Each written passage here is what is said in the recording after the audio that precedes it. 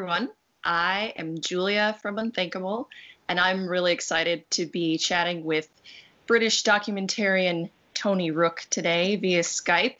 I am in Washington State, and he is all the way in the United Kingdom. So I'm very, very grateful to have him uh, here today to chat. Thank you, Tony. Hi, Julia. How are you? I'm doing pretty well. It's almost springtime here. How about you? Yeah, it's um, yeah, it's actually it's lovely in England today. It's really really pleasant. So um, we're great. We're grateful for that, and um, you know whatever other privileges the uh, the Lord Almighty government give us. Well, I really appreciate you chatting with me. I have been a fan ever since I saw your film Incontrovertible. I was sucked in and then I've heard some other interesting pieces of your story. I know that you've had some interesting relations with the BBC, uh, some some uh, court case there, and otherwise, I'm just hoping to pick your brain now in 2021, approaching the you know 20th anniversary of 9/11. I want to I want to hear your thoughts and uh, and appreciate you and thank you in person for what I find to be a, a, very brilliant and high quality film. And I will be including the link to the incontrovertible film in the caption on YouTube and the Facebook. So I highly recommend everybody check out Incontrovertible. It is awesome. Thank you. So, should we start there?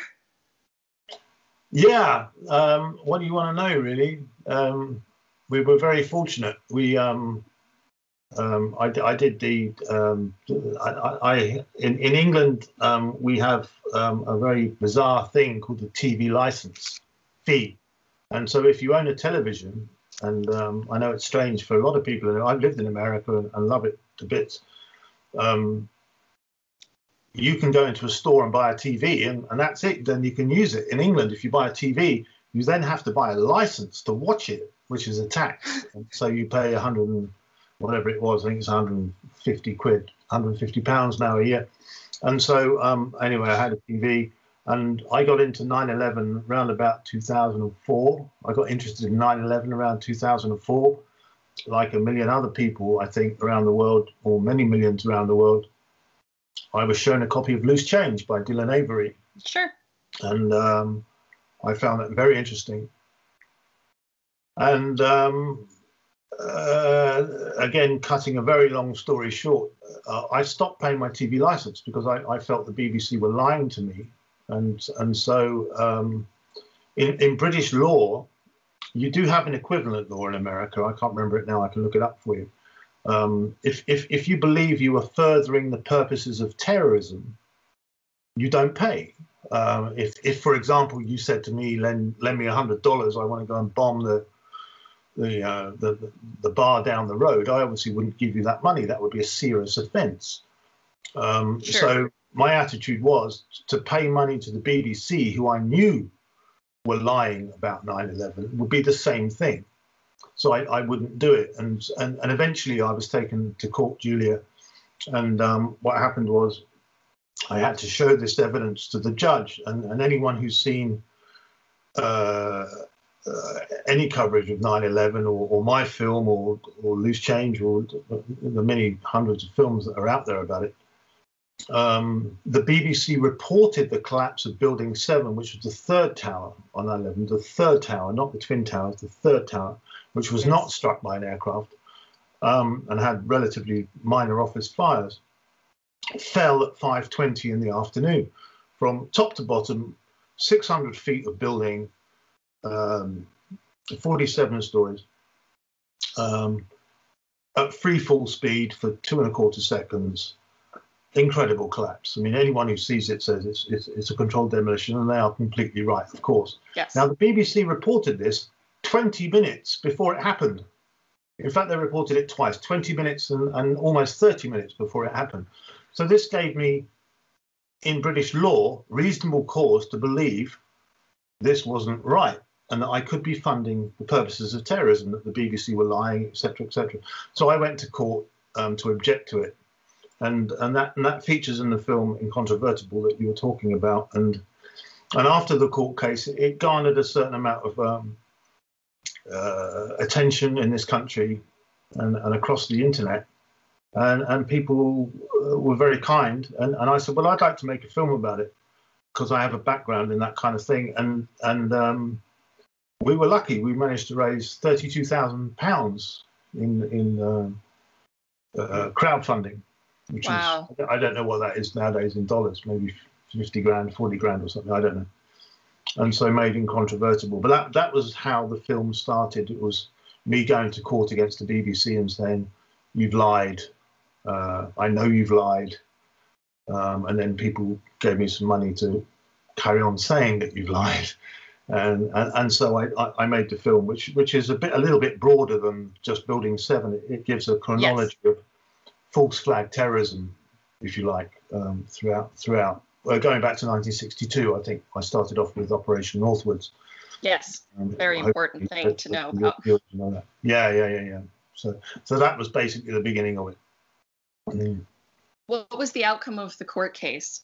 Remind me. Um, they didn't convict you of anything, and you had to pay the court fee, something like that.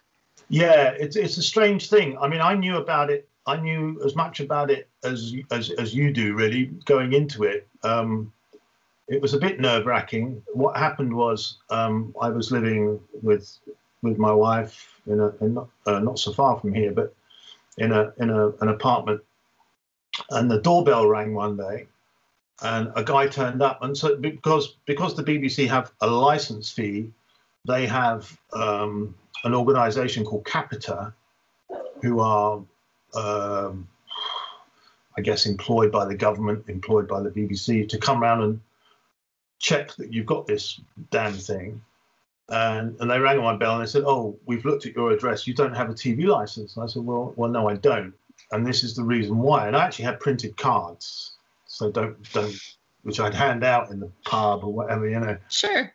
So this poor man was standing there looking at my card saying, you know, don't pay the TV license fee. It's against Section 15 of the Terrorism Act and all this legal stuff on it. And he didn't really know what to say.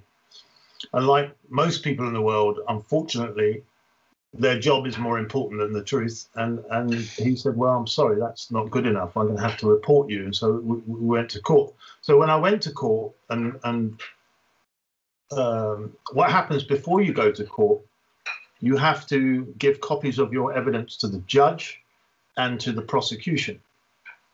And obviously, you keep one for yourself. So, me and my poor wife was, was sat up for like three weeks, triplicating this crap that we had to give to, to the various parties. And uh, so the judge had seen it um, before we even got there. And what happened was, unbeknownst to me, I didn't know that lots of people were going to arrive but we had about 120 people turn up for this court case in a very small court in a place called Horsham in West Sussex, where I live, which is a very provincial area. It's not it's not like New York or anything, Sure. uh, or London. And um, so it was packed, and people were queuing up to get into this thing, like the theatre. Very, and I was I was terrified. I was really nervous. I mean, um, I'm I'm quite famed for liking a drink, so I was in the gentleman's toilet having a a hip flask of whiskey and three Valium I got off my doctor before I, I got Oh, to the boy. court. Yeah, yeah, no, I was scared because Yes. I mean the judge could turn around and say, "Well, you're going to prison for being a, you know, Yeah. a cheeky person or whatever." Yeah. But anyway, I got in there and, and um, chemically calmed down. I explained my position to the judge, and, and there were lots of people there putting some kind of pressure on him, I suppose. I explained the situation, and, and I started talking about Operation Northwoods, which I'm assuming you know about, and maybe some of your viewers know about. And so, well, I'm, I'm not, I'm not talking out of my hat. This, this is a, a, a real problem. You know, governments do do this, and Building Seven, which was my central argument, um, which the BBC reported twice before it happened. This is an unusual event in news reporting. Gives me reasonable cause under Section 15 to 17 of the Terrorism Act 2000, British law, blah, blah, blah, blah, Mhm. not to pay you. And the judge was a little bit, I mean, he knew what was coming. But I think he was quite an honest judge, Julia. He, he, he said, look, even if I agree with you And this is the way the law works, and you have to be careful when you go into court. Today, this is only about the TV license. Your argument is for another day.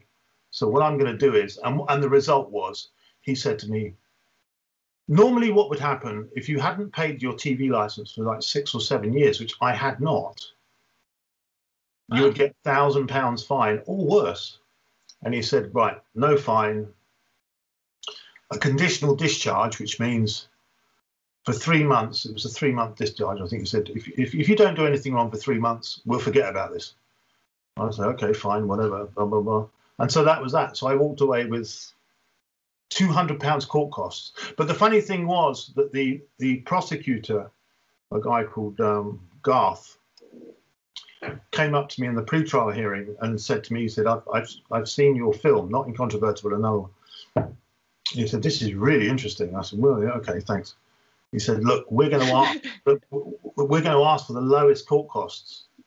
Um, um, I said, do you agree with me then? He said, I can't say. I'm not allowed to say. But he actually put money in towards my court costs in the pot, which was really sweet. Wow. So I, I think I made 100 quid on the day because people had a collection. It was really sweet. It was very nice. It was a great day out. I wouldn't want to repeat it. But um, yeah, we had what they call a Pyrrhic victory, a moral victory. And the judge said, no fine. I don't want to talk to you again. Go away. Blah, blah, blah. He didn't want to deal with it.